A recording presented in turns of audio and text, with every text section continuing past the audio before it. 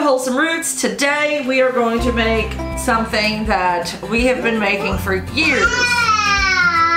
Odin's really happy about it. Uh, we have a surplus of tomatoes.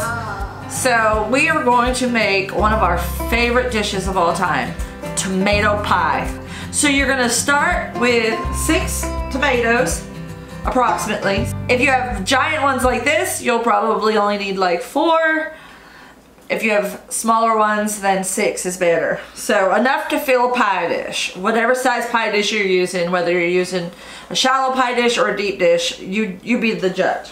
And what we're gonna do is we're gonna slice them into quarter inch slices the long along the stem line. So the first step I do is I cut off any bad spots. I had a bad spot right here and I cut the stem out.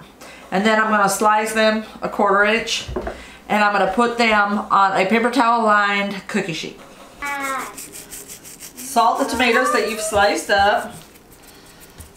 Let them let them drain their juices away just a little bit. Once I have them drained away, I'm going to move on to the next step. So while these are draining, I'm gonna mix my filling. So my filling is very simple. It's basically two ingredients, mayonnaise and cheese. Homemade mayonnaise from fresh farm eggs is the best way to make this recipe. But if you don't have those, then regular eggs work fine. Also, you can use any kind of cheese you want. We have cheddar, shredded cheddar cheese, so that's what we're using.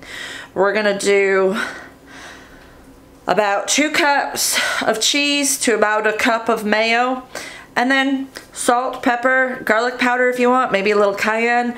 If you like it spicy, maybe a dash of hot sauce. Um, really, you can you can you can add in other flavors. A lot of tomato pie recipes that I see these days add in a lot of other flavors like onions and garlic and basil and and and like like peppers and Mm, mm -mm. No, I like my tomato pie to have the tomato be the star of the show. So I want all of the tomato flavors to be the profile that I'm going for. Okay, so I have two different kinds of cheeses here and I'm just gonna mix them up. About two cups of cheese. Really, you can use whatever kind you like. This white cheese is a really nice melting Swiss. It's not a strong flavored Swiss.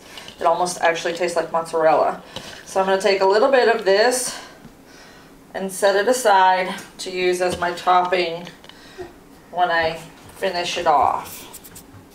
And then to this, I'm going to add my mayonnaise. Now I'm using homemade mayonnaise. I make this stuff all the time. We've been making this for 10 years and we love it. Um, using about a cup of mayonnaise.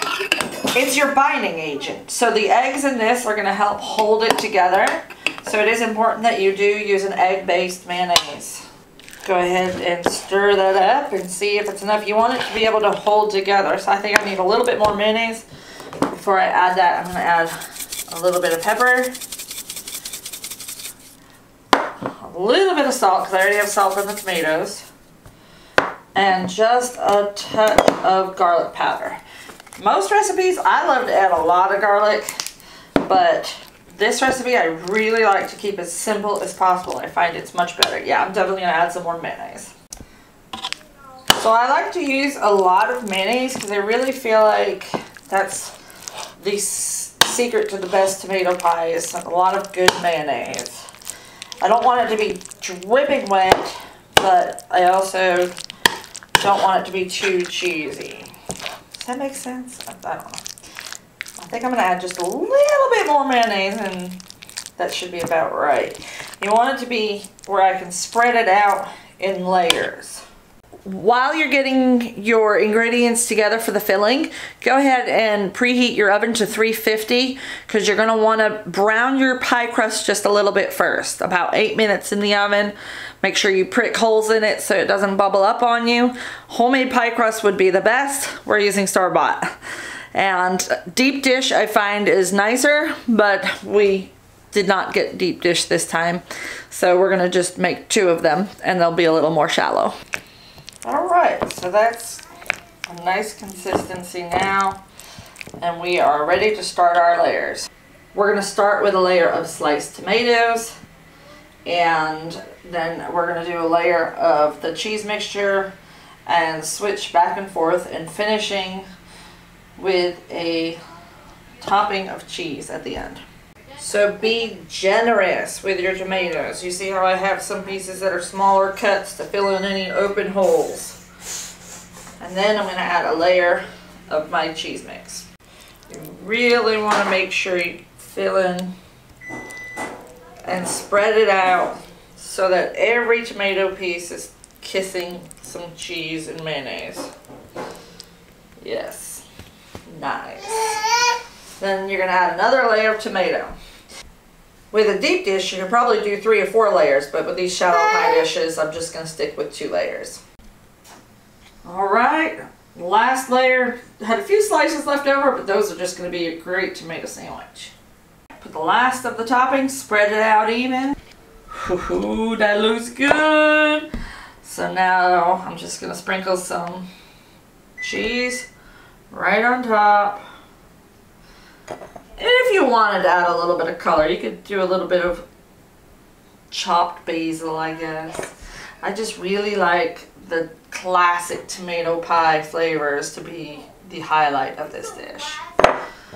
So I do that, put it in the oven on 350, like I said earlier, and from anywhere from like 35 to 45 minutes, you want to be checking on it but it could take as long as 55 minutes depending on your oven. Alright, I went ahead and put both of those pies on a large cookie sheet so that they wouldn't drip in my oven just in case they spill over the edge because those were a little bit more shallow than I'm used to. And I set my timer for 35 minutes and I'm going to check it and I can't wait to show you guys the finished results. Alright, 35 minutes and they are bubbly, but I'm going to let the cheese brown a little bit around the top edges. So you want to see that bubbly around the edges? That's perfect. Basically, it's done. I just am going to brown it a little bit in the center.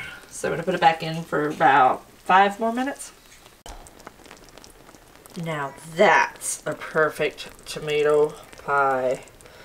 Oh, this dinner is going to be so amazing. Now you can have this as your dinner. It's got the protein, everything you need. Or you can have it as a side dish, whatever you prefer. So once you let it cool just a little bit, slice into that bad boy. I'm salivating right now.